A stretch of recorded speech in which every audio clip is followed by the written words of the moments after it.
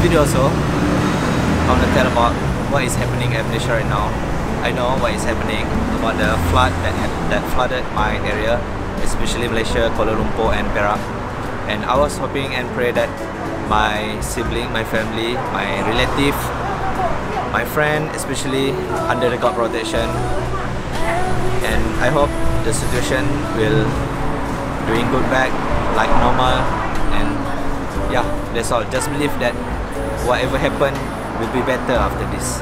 Inshallah. So we'll see you next time. My name is Mio Kamel. Bye bye assalamualaikum